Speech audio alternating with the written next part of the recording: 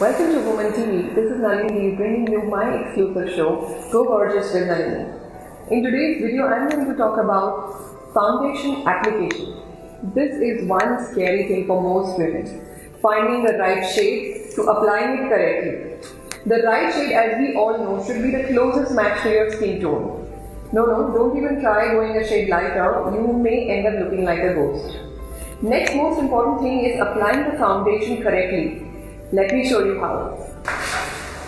To begin the application of foundation, the tools that you actually need is a beauty blender or a, uh, or a buffing brush. Okay, to begin with, I will start with the beauty blender. I will take the foundation on the beauty blender. The most important part is to start applying the foundation from the center of the face, which is your nose. So you start gently going dab on an, in a dabbing motion all over the face. Gently go on dabbing under the eye area. Keep quick dabbing motion. Do not spread the foundation. Make sure the damp is, uh, make sure the sponge is damp. Go all over the forehead. Do not apply the product on the edges of the face because you will find it very difficult to blend it otherwise. Make sure you have covered any exposed areas like the neck.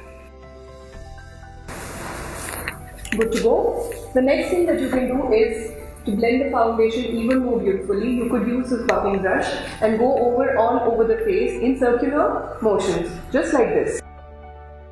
So as you can see the foundation starts to blend into the skin very beautifully.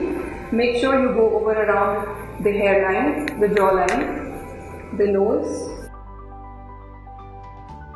once this is done, the last thing that you need to do is take a compact and a brush and set your foundation, gently apply the powder all over the face. There you go. Let me know when you have tried this application technique and how did it go.